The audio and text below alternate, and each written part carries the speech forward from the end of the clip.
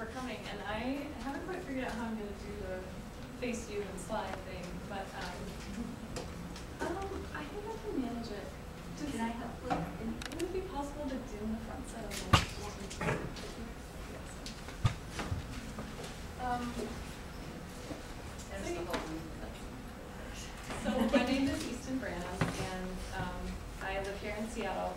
I studied landscape architecture at the University of Washington um, and work in the built environment. And so the idea of the built environment being something that is political and that does affect um, our everyday lives and should be something that is considered when we talk about social justice. We're also integrating an idea of spatial justice. So that is um, sort of the framework that I'm coming from, but before I get started on the presentation itself, because this is a conversation and I'm not here to be um, lecturing you entirely in an academic format, would you mind just going around the room saying your name and just giving me one word that sort of um, indicates your level of interest in this topic? Maybe why, just one word that would sort of direct us as to why you're here today. Marianne, yeah. You want to start? I think the only person who set up a trend of perhaps refusing to give one's name should go first. So, should you know, Okay. because my name is important. And uh, I'm not sure, as the child of two immigrants to the particularly, shall we say, vulgar, at this time, United States, where I fit into the discourse. If I give my name, it will be impossible for others to judge me upon my gender and my skin color alone, because my name would give up the game. So I, unfortunately, It's an invitation, not a requirement, so I appreciate that. Would anyone else like to their name or join? I'm Candace Corey. Um, one word is hard, but I guess when I looked at your flyer, I was a little shocked the image. And I wouldn't have even guessed, and I thought, where is that? So, Uh, my name's Claire, and uh, my word is um, reaction. So I feel like it's very difficult to kind of know what to do in this, in this topic and situation. Patty and sexism. Important word. My name is Brandy Link, and I think two words, public space, and interested in many issues around that. Shay Savoy, one hyphenated word, consciousness raising. Anybody else? Lana, um, and living frustration. Had a, uh, public art. Abby and activism. Emily, curiosity. Tim, and uh, I'm afraid my word is assignment. There's lots of space for that, for sure. Carl, um, interest, interested. Okay, I'll force anybody, anybody else who'd like to?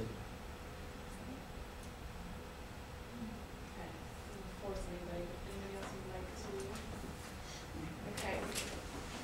So, um, where I'm gonna go today is, uh, we have about an hour, about an hour. I'm gonna try to, to present some material for you to think over for about half an hour. And then I wanna have a lot of space for conversation.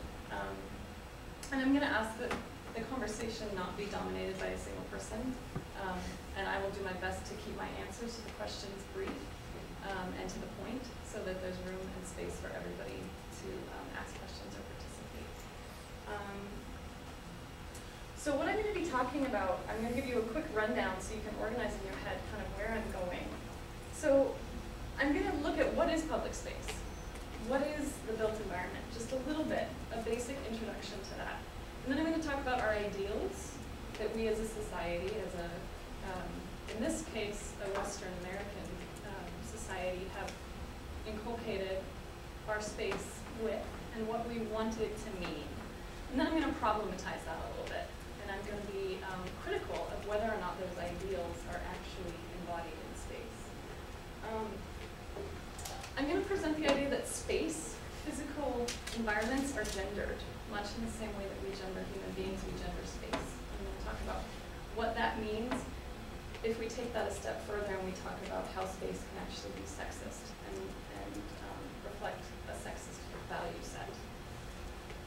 Um, and then I'm going to talk a little bit specifically about street harassment and what escalates street harassment in the built environment. So part of the reason that um, I want to have this conversation is I think in the postmodern world, especially in the academic postmodern world, we talk about theory, and we go round and around in circles about theory a lot. We have debates about personal choice and empowerment and um, individual experience, but I want to emplace our theory in the lived reality of our lives. Your body moving through public space. What are your experiences? What happens to you in space? And look at how that actually can inform us. So starting from experience and then looking. We're developing some ideas. And I'm not going to present you with um, an argument that I expect you to agree with and take as fact. I'm going to present some things, and they're conversation starters. And they're meant to be um, problem problematic. And I hope that that inspires you rather than causes you to shut down and become defensive or aggressive. Okay, so that is where we're going to go. We'll get started. So what is public space? So public space is something that is actually not easy to define. Right now, public space and private space and commercial space, the lines between those things are blurring um, quite a bit. But a typology of public space would include community park, state national parks, plazas or atrias, pedestrian malls, public markets, community gardens, rails to trail system, streets, and sidewalks. I say that the commercial space and private space are sort of hard to parse apart because there's a lot of sponsorship of public space now with private or corporate entities um, provide the funding to develop a space and um, are able to influence some of the decisions about that space. Uh, qualities of public space are ideally that it would be accessible to all users, it would be comfortable, it would be a place where social interaction and social exchange was facilitated and welcome. It would be potentially neutral, and um, it often has a program of activity that folks are encouraged to participate in. This is a part where we um, look at the ideal public space. This is James Howard Kunstler. Public space informs us of who we are as a society, as a civilization. How this happens is rather simple. Neutral places exist that require no membership, no qualification for entrance. The neutrality of these places makes them a blank canvas upon all which, on which all members of society are invited to apply their colors. I don't believe that this is necessarily happening. And, but I present this to establish the baseline of what we hope these qualities, um, these spaces represent to us. So when we problematize that ideal, when we actually become critical of what our spaces are and how they're being used, I like this quote from Michael Rios. He says, as a setting for rights claims, place also draws attention to the political and raises important questions. Which rights, for whom, and how are entitlements manifested in material terms? Realizing that I'm way behind in my notes. And, and right now, I think it's important to recognize um, what's happening in public space right now. There's uh, a lot of agitation and manifestation in our public spaces in Seattle right now on behalf of civil rights and uh, racial justice in the criminal legal system. Um, so if you think about the protests and the large gatherings of people that are attempting to use public space to exercise their constitutional rights to assemble and to make their voices heard, ask yourself which rights for whom and how are entitlements manifested in material terms? Why is it that a person of color accessing public space would feel vulnerable, threatened, and profiled perhaps simply because of their uh, the color of their skin or the profile that is attached to the way that they look.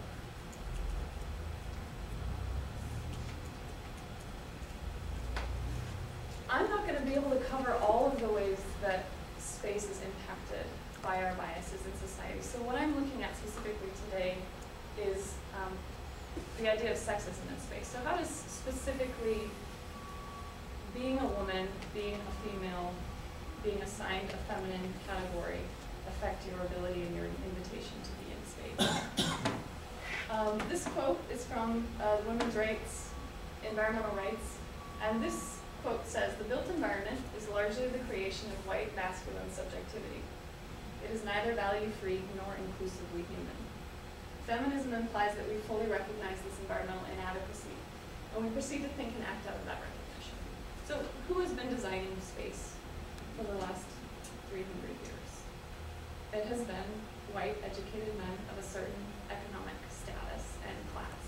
Um, and what this quote really means to do is to point out that that is not a value-free uh, reality.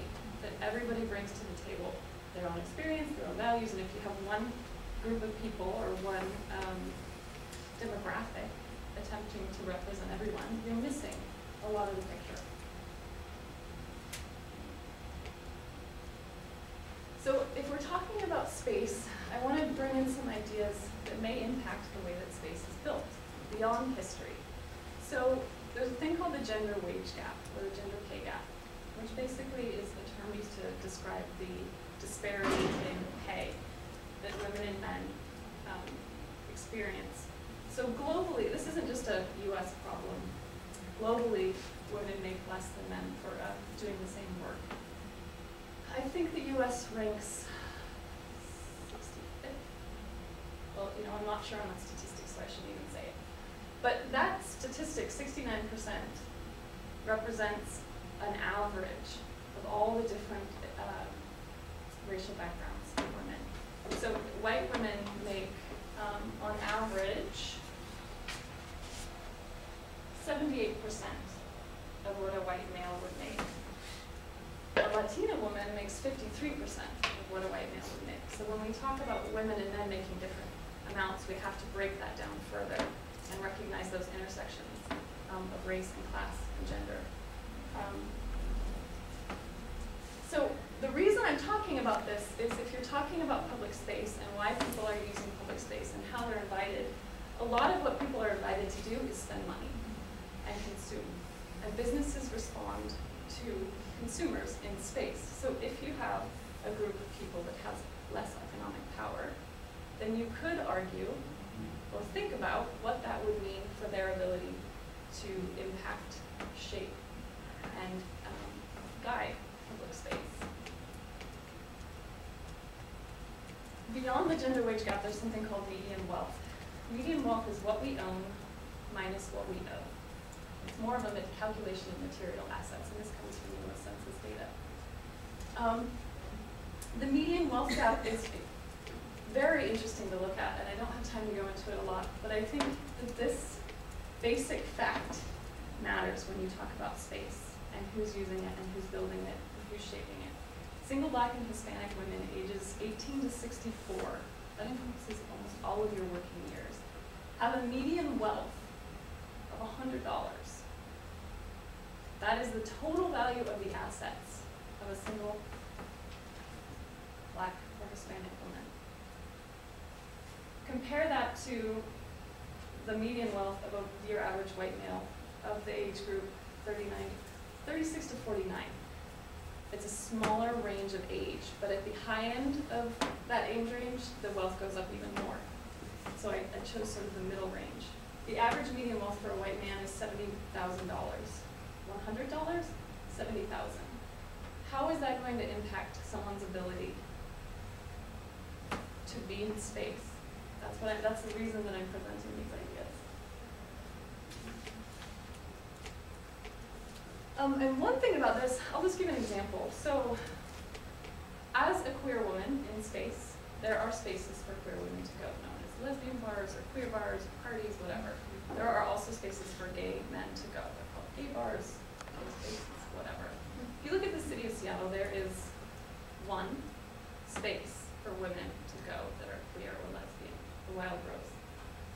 If you look at Seattle and you look at the infrastructure built for and by male users, gay men, does anybody have an idea of the the total number of gay male bars in the city of Seattle? A lot All of them. quite a lot. So way more than one. And that, that, uh, ratio is repeated all around the world and in cities all across the United States. Okay, so power in public space. Um, this slide is from a larger presentation that I give about uh, sexual exploitation in public space. So hence the title, sexual exploitation. We're not actually going to get into that in this presentation. But the idea that space responds to those um, who have resources and assets, um, and that space invites users to participate, to linger, to move through the space, to occupy the space, to participate in the space, and even to control the space. And the people that have the most ability are the folks on the left. If you're male, if you're an adult, if you're white, if you're wealthy, if you're heterosexual or heteronorm- heteronormative, if you're able-bodied. Does that mean if you are those things, you're bad and you shouldn't be in space? No. Mm-hmm. It just means that space is listening to you. Mm-hmm. Space may be designed for you more than it would be for the other class of users that include children, females, people of color, poor and working class folks, the LGBTQ AIA community, and those that are differently abled. So now I want to talk a little bit about what it means if you gender space. So this is, uh, I believe it's something that I've come up with, although oftentimes one thinks one has new ideas and these are not original at all. But when I say the word, or when I use this uh, term, I'm talking about space that is overtly marked by socially defined masculine or feminine details. Pink brain, blue brain. You have a little girl, you dress her up as a princess. You have a little boy, you dress him up as a superhero. Those are those are um, gender quali- qualities that are associated as masculine or feminine. We find them in our own personal behaviors. I'm suggesting we also find them in space. So, how women and men are depicted in space.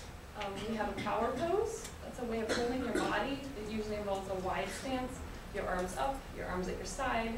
And then we have um, a sexualized pose or a non-power pose, which is usually turned, it's smaller. Obviously, I'm not going to make all of the ways that women are sexualized in public space, but I think that this photo does a pretty good job of juxtaposing what I'm talking about. There's also the idea that if something is gendered feminine, it's somehow inappropriate in space. Unless it's sexualized, it doesn't really belong there. So this is um, from the National Landscape Architecture magazine, um, one that a magazine that I enjoy and that a lot of folks in my profession contribute to. It's a good magazine. But I found, I think, a very telling example of what I'm talking about when I say feminized objects are less, and feminized individuals are less valued. So, Toronto, this is a beautiful park called Sugar Beach Park. It's a waterfront repurpose project where they've um, made a beach where you can't swim in the industrialized waters below, but they have created a space that invites users and community and a lot of whimsical participation in the built environment. What happened was they used pink umbrellas. Those pink umbrellas were the source of controversy because, quote, the use of pink was a bit controversial at first. Some questioned whether it was an appropriate color for public space. Too feminine, perhaps.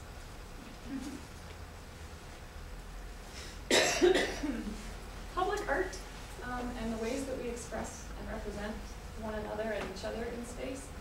I'm using the example of the Triumph of Civic Virtue. This is a statue that was made in 1922, and in 2012, it was moved because it had become so controversial and it was so um, unpopular and out of, it was in a state of disrepair. The artist that created it, Frederick William MacMonnies, said at the time he built it when it was also controversial.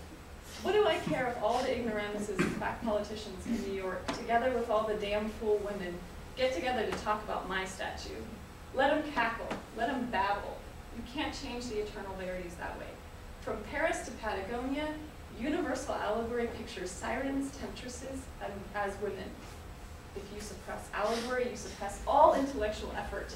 I gather that allegory has long been extinct in city. I don't think I can portray the, the, exactly how upset he was that his mm-hmm. statue was being critiqued. Um, but what the statue is, is a depiction of a, of a white male standing on the bodies uh, of two women.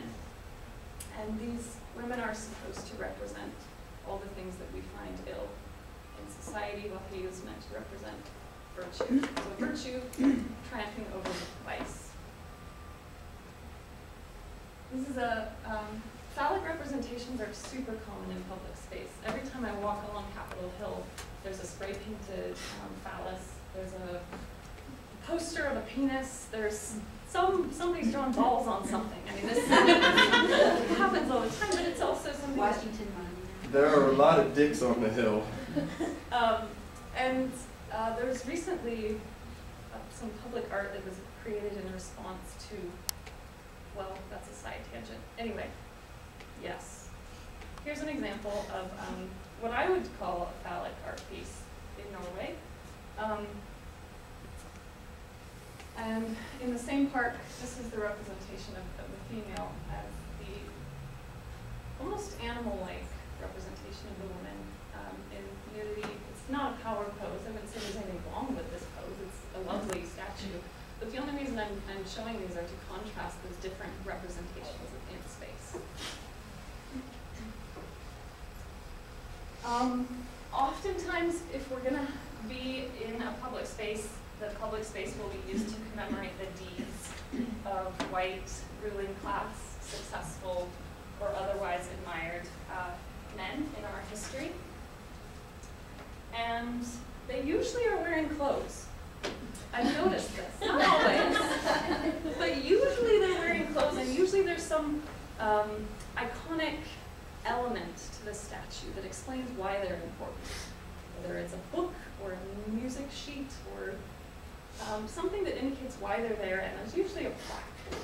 I've noticed all around the world, as I've um, been exploring, that more often than not, the female representations are nude, or like I said, sexualized. Um, and often you're invited to participate with them in ways that you're not invited to participate with statues of men.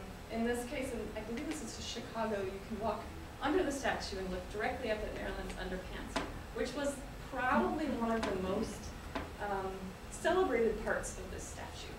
I don't know the equivalent of the statue in Chicago for me. Okay, so if I'm talking about sexist public space, I'm going to define sexism for you a little bit. This is straight out of the dictionary. Sexism is behavior, conditions, or attitudes that foster stereotypes of social roles based on sex. Do you have any questions about what that might mean? Do you have a question? You want sex? I've never had any. That's not a question.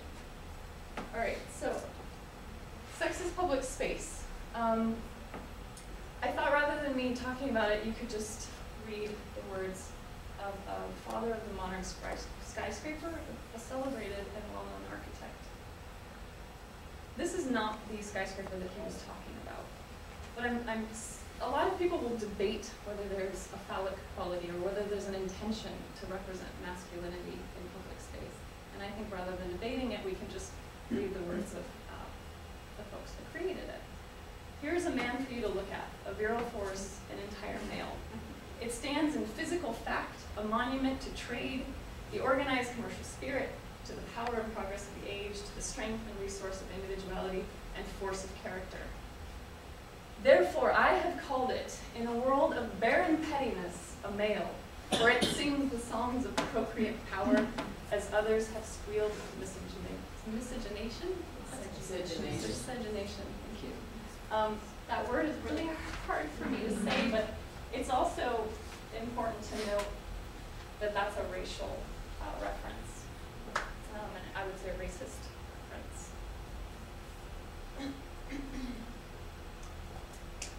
Okay, so what's one quality that we can pull out of this dialogue about public space having a gender, and then that gender being treated in a way that is sexist? Or users of public space having a gender, and that gendered experience being sexist?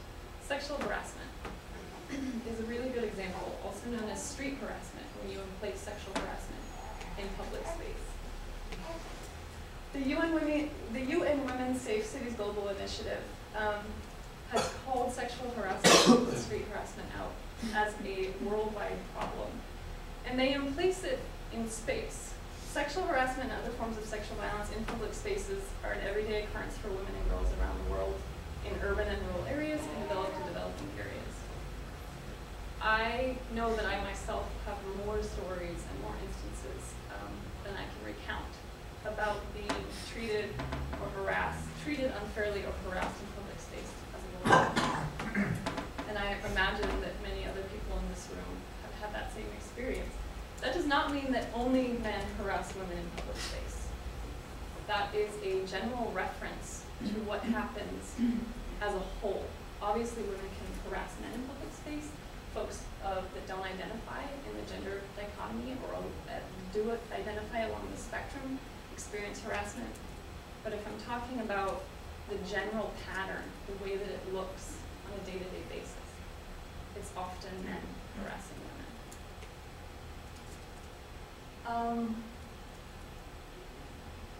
a lot of people have tried to figure out why harassment happens. I just pulled out three bullet points uh, from the study that talks about some of the motivations men might have for um, harassing in space. They pulled out predatory harassers, or those who harass for sexual satisfaction, dominance harassers, someone who harasses to reassert men's power over women, and a strategic or territorial harasser who harasses to protect male environments or places where women are not supposed to be.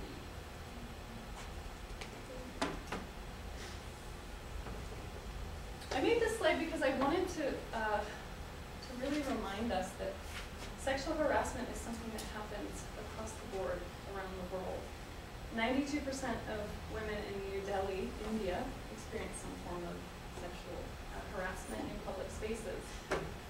Ninety-six percent of women in the United States that were surveyed reported experiencing at least one unwanted sexual advance. So this isn't a problem that only happens in other places. It says violence. Did you, did it mean, you mean harassment? It, yeah, they broke it down don't further in the code. I don't think that statistic is correct for violence. Um, It says eighty, so they said sexual violence, so some sort of an actual act in public space, while eighty-eight percent of women experience some sort of visual or verbal sexual harassment. So the num, so that's actually, that's harassment that has escalated into some sort of sort of violence, thank you for asking that. Um, while just a non-physical harassment was counted at eighty-eight percent of women. Yeah. Thank you for that. Okay. So what happens when you resist street harassment?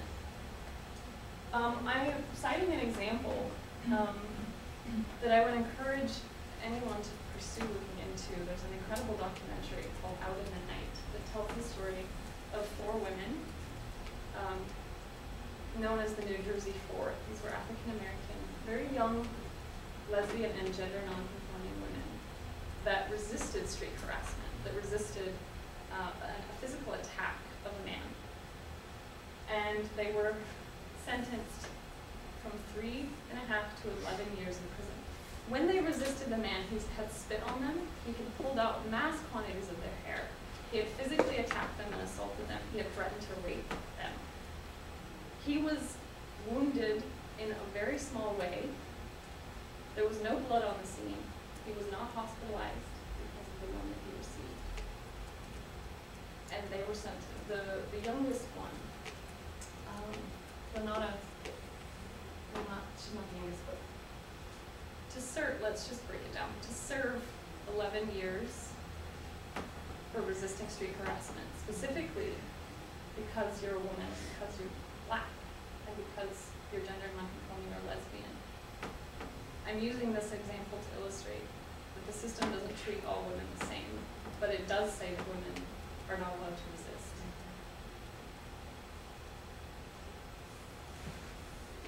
That resistance also has not only legal consequences that vary on, on scale, but physical reality where you can be killed. So just last month, um, one woman was shot and killed after refusing to give a stranger her number.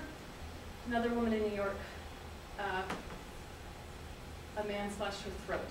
So I highlighted this verbiage to, to, to show the bias in the way that this sentence is even constructed. The woman got her throat slashed. Her throat was not slashed. She got her own throat slashed by resisting street harassment. Um, for, yeah, pay attention to that, the way that those sentences are constructed and, and how the emphasis is placed. Also, this month um, in Germany, a woman stepped in when she heard the screams of two other young women being harassed, and she was later bludgeoned to death in a parking lot by the men that she interrupted their fun. Okay, see how I'm doing on time. Great, it's about twelve thirty, and I've just got a few more slides left. So here's the here's the part where I'm going to throw something out, and I want to challenge you to think about this and to respond if you have any questions or concerns.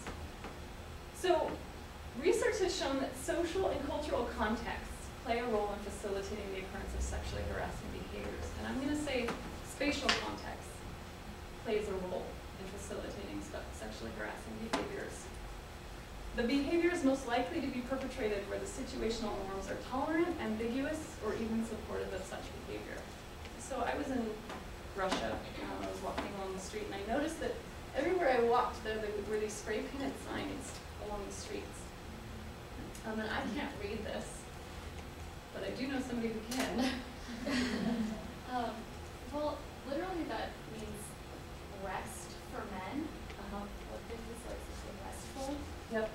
So some Russian folks that I was with said that, that they were advertising rest and relaxation for men. They also were advertising a wife for a day. These are advertisements for prostituted um, women for men to use. Um, and these take these are uh, peppered around throughout the city and all over as we walk. These are underfoot, and that got me thinking about what it means when we normalize certain behaviors in public space and we build infrastructure to support those behaviors. So for example, this is the red light district in Amsterdam. I want to note that I blocked out the women's faces in the windows because that's something that is requested by sex workers unions and women that are in these positions, that their identities not be advertised or exploited. That is in no way meant to imply that they are, should be shamed or are shameful. Um, but what I want to look at here is the infrastructure that the city has created and that businesses have created to facilitate this transaction of women in public space as a commodity and how the users of public space are responding to that. So the city of Amsterdam has an official website where they uh, advertise the sex tourism industry that has been built into the physical infrastructure of the city. And this quote is from that, and I thought it was interesting to pull out, there's an inherent warning in this advertisement. The, the website reads, the area, the red light district, is bustling with visitors and groups of tourists. It is best to travel in a pair or in a group, as the area also tra- attracts some seedier characters. Grab a map and venture out if you're keen to learn more and take, take one of the many specialized tours. Um, has anybody here been to um, Amsterdam or lived in Amsterdam? Yeah. So when I first went to Amsterdam, I was really excited to see um, an approach to uh, the sex industry that was deliberate, that was careful, and that was planned, um, and that had as its values source the intention to protect uh, women in those positions and to uh, address some of the problems in the industry. What has happened um, legally, and the city of Amsterdam's own response since uh, the changing of its laws to facilitate um, the red light district, shows that there's been some problems and some uh, hiccups, maybe unexpected. A large number of the, um, the brothel venues in Amsterdam were recently, as recently as 2008, purchased by the city and shut down because there was so much uh, criminal activity, so much human trafficking, so much abuse of the sex workers and prostituted women. Um, that the city then had to buy back its own space from that industry. And I think again that's that's something to consider when we're talking about how our money is reflected in our space. Um, and there's, I think there's also a bit of a disconnect when you look at the physical reality of those red light districts or zones for male entertainment where women are invited to participate in the spectacle of women being bought and sold or in these transactions. Um, or to be the, the, the commodity, to be part of the physical infrastructure, to be a part of the environment, um, rather than uh, a neutral user, right? It's that idea of neutrality. Is it neutral when you create these spaces? So going back to the UN, um, the UN report states we have to work with communities to change harmful social norms and attitudes and social institutions that discriminate and tolerate violence against women. I juxtapose that with uh, something that I find problematic. This is a quote from the Dutch policy on prostitution put out by the Dutch Ministry of Foreign Affairs. that says, under current policy, permission to run a brothel may not be refused on ethical grounds. Following an administrative court judgment, refusal is only possible if there are objections from a spatial planning point of view.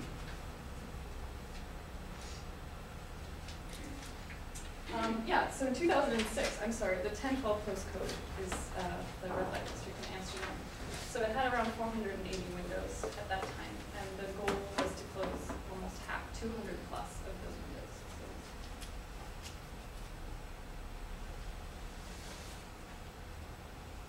So All right, so winding it up. Um,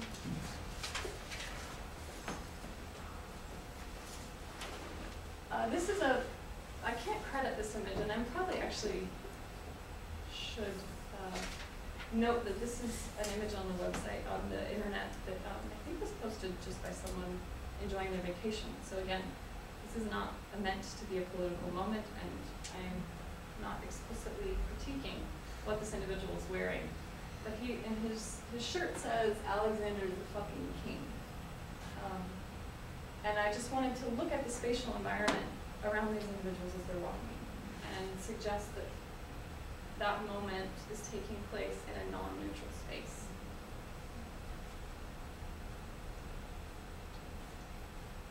This is example art, and um, actually, Harley pointed out to me that this is from a town outside of Amsterdam. Yeah. Um, this is street art. This is embedded in the ground as you walk. And I think this is a particular message. Um, art always has a message, right? It's challenging, it's problematic. Um, not saying this is bad art, but I want to place it in a social context and a spatial context. And invite you to think about it. And finally, I just want to suggest that a bias or a sexism or a gendered space is not a new thing.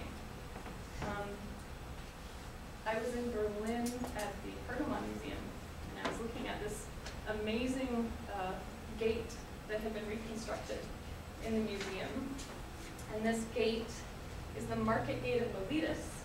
It was built in the second century AD during the reign of the Emperor Hadrian. So it's architecturally impressive, it's spatially poignant, it's, it's kind of one of those moments where you, you look at what human beings have built and go, wow, that's pretty impressive. Um, but then I noticed something else. And I just want to focus your attention to these two figures on either side of the gate entrance, so that this was the gate to the bustling uh, southern edge of the marketplace.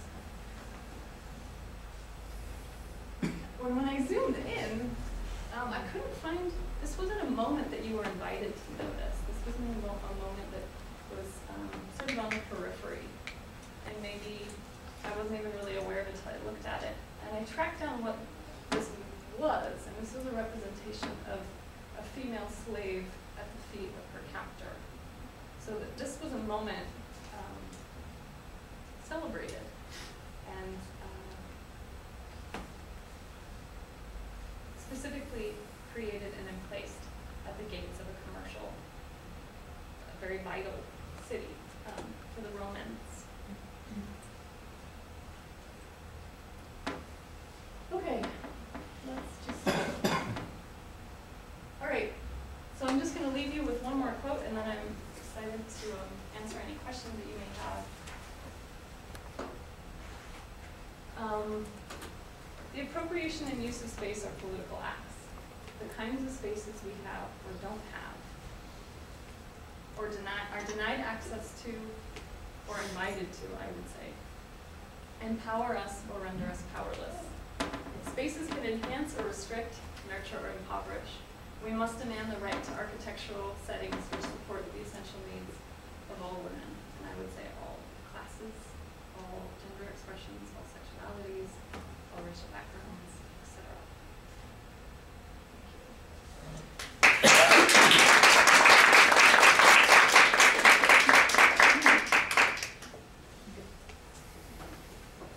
Okay, so, do we have questions for me? Um, I feel like one of the reasons when women do get harassed on the street that they don't know how to speak up is they don't know where to find allies. If they don't have allies or, you know, they don't feel like if it does turn worse, they can get out, you know, get out of it or it's gonna be safe. Mm-hmm. Absolutely, it's the fear that the situation is only gonna escalate if you actually acknowledge, um, that you're being harassed, or if you express, uh, resistance to that harassment. I think that's a very vulnerable position to be in public space as a woman, and I think that's a really good point, and I think, um, as a designer of space, one of the conversations that I don't often hear is, uh, specifically wondering about if that space is gonna be safe for female users at all times of the day. Um, and then also children, right?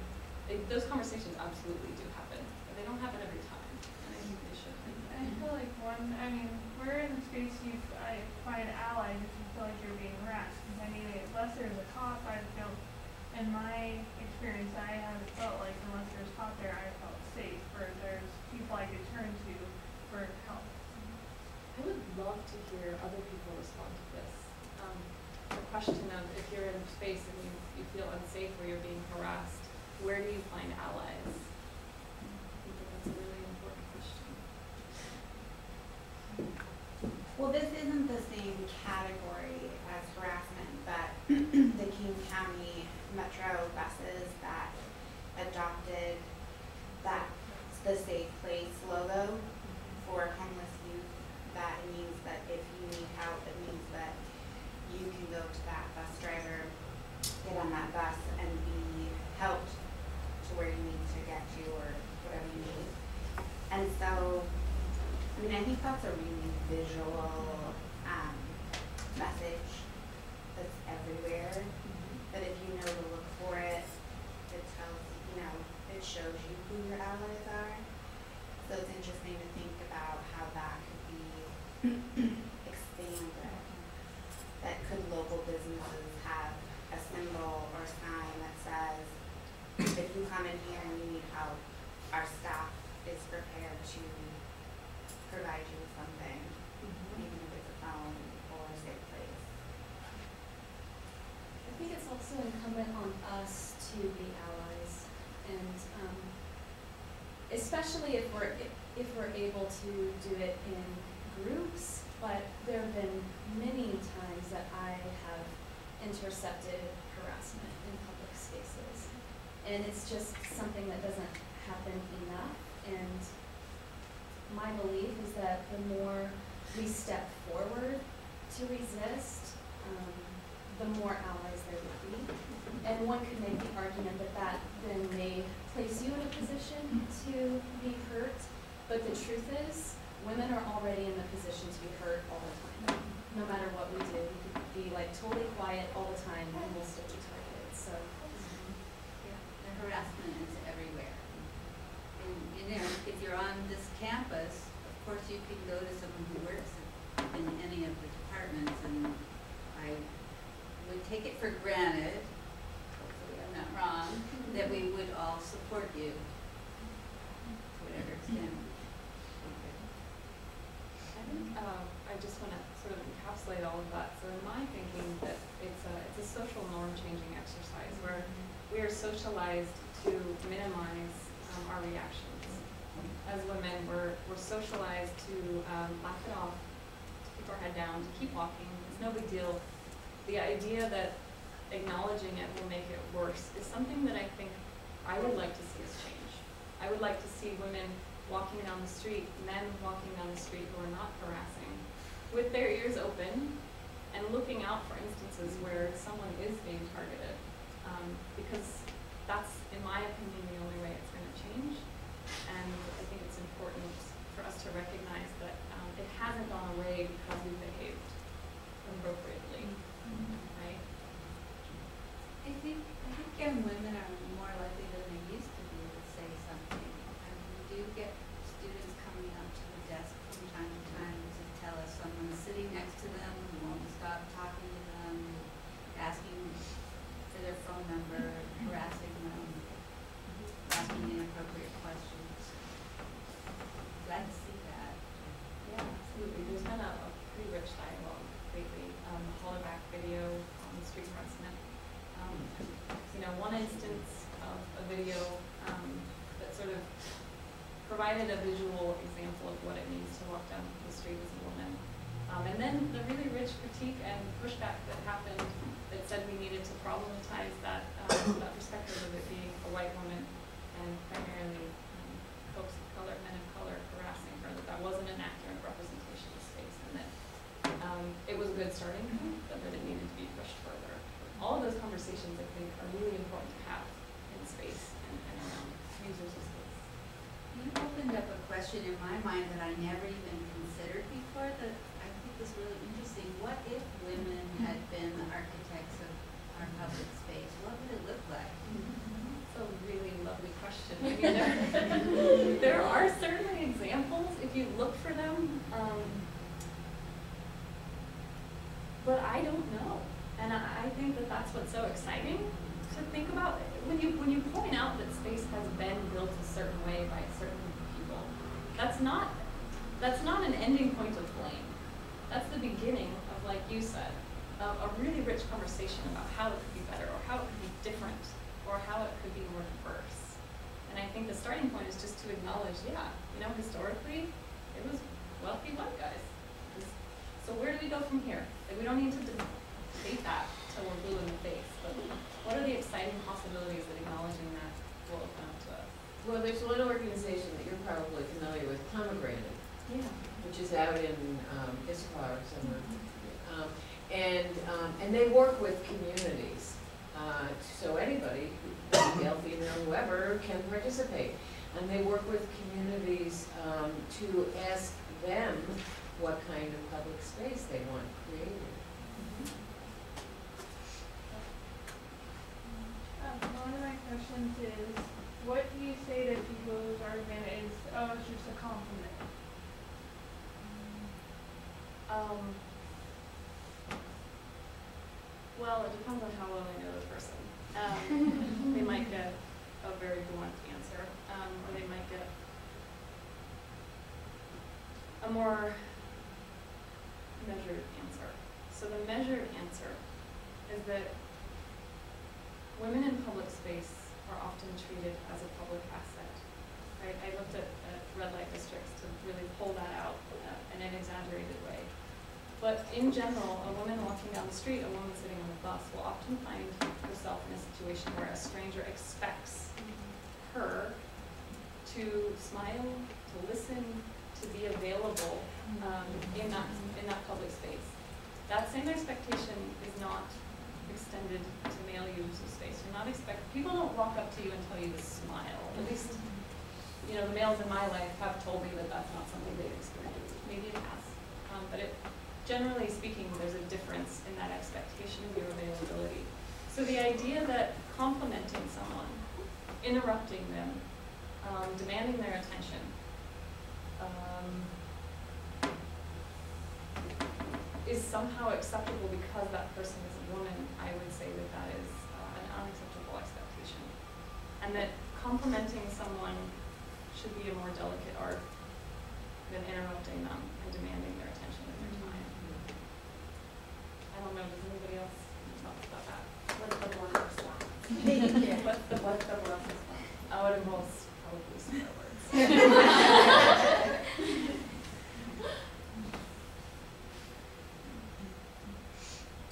Yeah. I particularly appreciate your asserting in the appropriate context to the appropriate audience. That men in particular should learn to pay compliments in the most appropriate fashion to the story um, the world can afford them.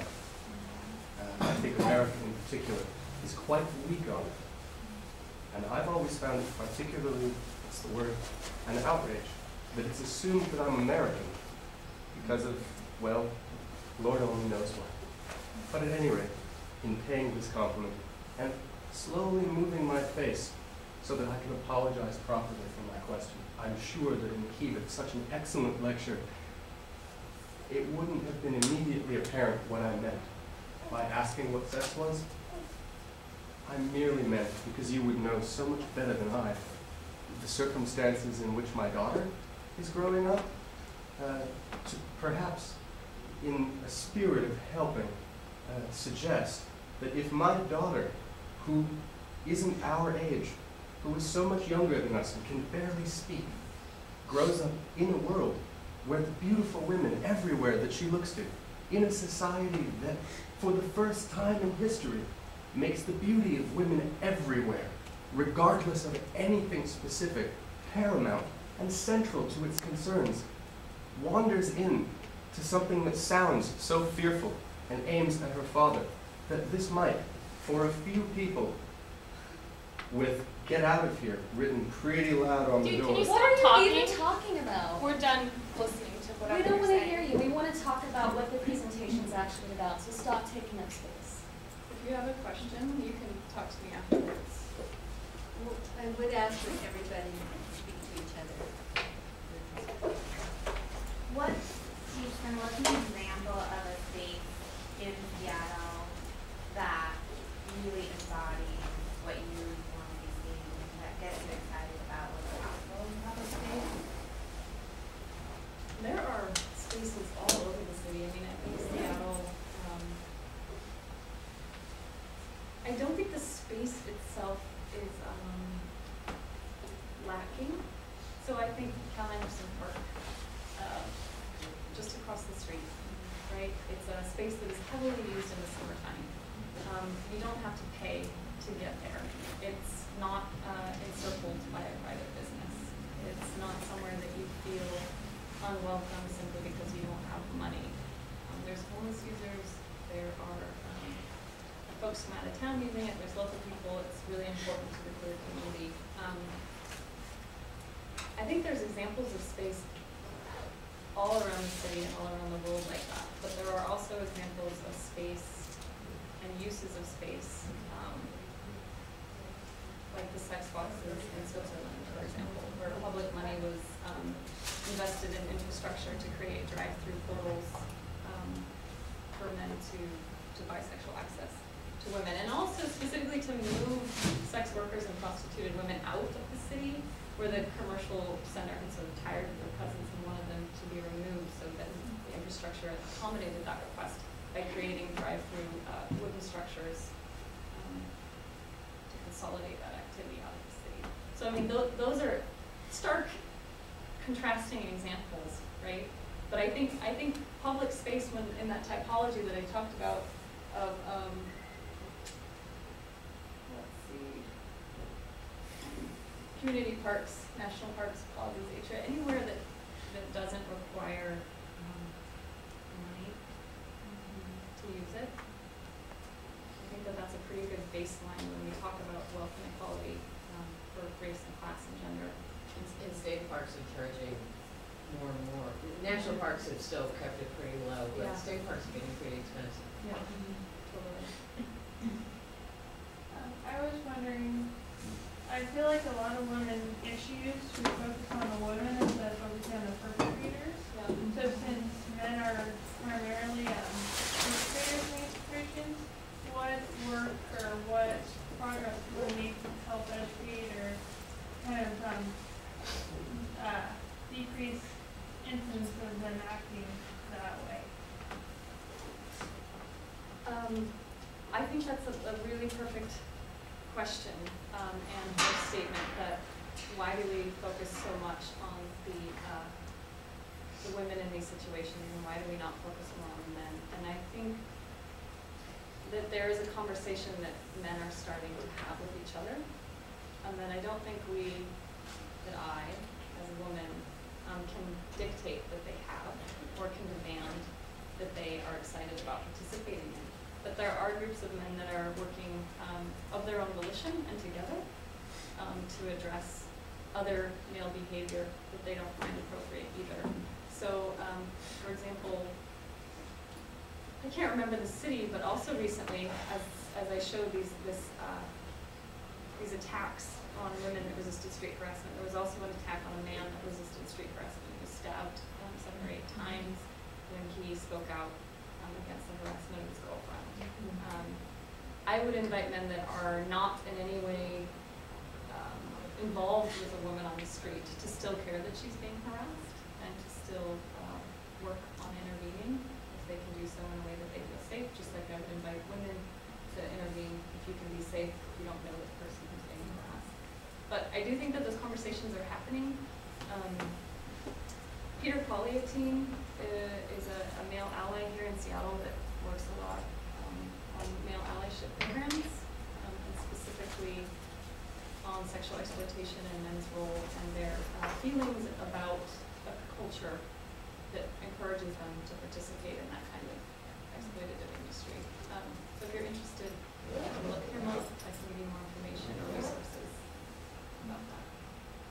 Yeah, I think it's so important too that we keep working on a culture where we're all looking out for each other and we're all equipped with skills to intervene in a whole array of different approaches according to safety and, and conditions of the environment because we're increasingly uh, learning more and more thanks to the work of um, activists right now that police aren't necessarily safe. They're not necessarily protecting and serving adequately. And if we're sort of cultured to think of police as the people to intervene and solve these problems for us when they arise, a lot of people are gonna get hurt.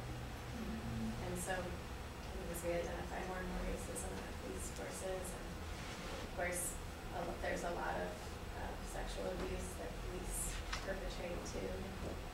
You know, I, I just think it's so important that we take on looking out for each other and don't depend on the police for that. I, just want to offer up one small way of helping each other. Uh, my husband and I were on a bus, and granted, I was there with my husband, so I, what I'm about to say, I felt more comfortable doing because there were two of us involved. Um, but there, a young woman was on the bus, uh, right behind us, and a guy sat down next to her, and he was, you know, basically harassing, not harassing her as in saying horrible things to her, but it was clear that he just wanted to engage her and, and, and she was reading a book and she just kept her head down. She did the, you know, the female thing to do. And, um, and I, I could just tell, well, I was very concerned that he was gonna get off the bus with her. And so I said to my husband, I, um, I, when she gets off the bus, I wanna get off with her. And I, I don't remember getting off the bus, so I think he probably got off the bus before she did. Um, but it was one of the situations where I thought, she is not protecting herself, and I do not want her to get off the bus where this guy can follow her. And that brings up a really important point, I think, is we have to act strong and not be, look like victims. And be ready to counteract whatever kind of sexist behavior we get from men. I mean, what are some tools that you see, I mean, I've read some stories after seeing the Crackle video of ways women dealt with it. One was public shaming, like announcing what the guy said. What are some other things that you'd recommend? And I know it varies on safety, but just some tools. Yeah, absolutely, and then I, um, also, it's one o'clock, just in case somebody has class or somewhere to be. Um, Always with an eye to the situation and that there's no specific reaction that is gonna guarantee that you're safe. I personally believe that being loud, being vocal, is the number one most important thing you can do. I have a friend that immediately starts howling and twitching, and just gets really bizarre when people, um, when men are harassing her. Um, and that is a way to sort of interrupt uh, their comfort as well as hers, and to call attention that something is happening to bystanders. Um, and maybe in that moment she's not able to articulate a very impassioned and, and clear critique of these behaviors, so she gets loud and she makes sure that other people are noticing that something is wrong. That's one way to do it. I have to go, and I just want to say, if any of you are interested in participating in this series and want to plan something, please contact me, Kelly McHenry. I'll be at the reference desk out there too. And I want to